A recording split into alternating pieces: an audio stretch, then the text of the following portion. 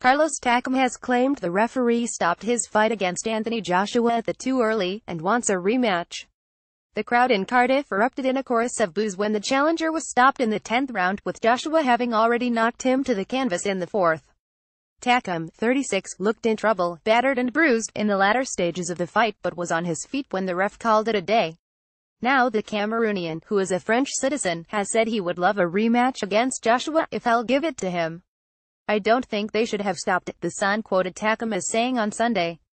I don't think they should have stopped it. I want the rematch if Anthony gives me it. He is a great champion. Takam had some of his best moments of the fight in the seventh round as he repeatedly caught Joshua. Joshua tried to regain momentum in the eighth with two left hands that shook Takam, who was inspected by the ringside doctor at the start of the ninth round. Takam was allowed to fight on but in the 10th he was shook by a right to the head and as Joshua unloaded more punches that landed flush, referee Phil Edwards stopped the fight.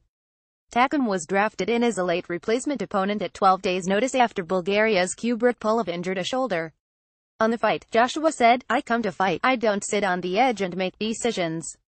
It was a good fight until the ref stopped it. I have the utmost respect for Takam putting on a good show. Deontay Wilder fight has to happen for sure but it comes to a decision where the IBO, WBA and IBF that have mandatories. Providing I am free, I can't fight Joe Bloggs from anywhere, I have to fight championship fighters. These are fighters I have to compete with.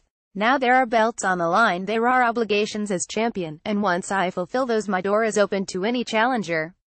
It's no problem. The 28-year-old suffered a damaged nose before breaking down Takam for a 20th consecutive knockout victory. Former super middleweight world champion Carl Froch says he understands why the referee stopped the fight but that doesn't mean he agrees with it. He was definitely saved from further punishment, Froch told Sky Sports. I think the sensible people that watch boxing would not argue with that stoppage. The Barbarians, and I'm a barbarian, I like barbaric finishes and I have always done. But the fight could have gone on so it's subjective. Copyright Punch. All rights reserved. This material, and other digital content on this website, may not be reproduced, published, broadcast, rewritten or redistributed in whole or in part without prior express written permission from Punch. Contact email protected visited 4,168 times, 4,176 visits today.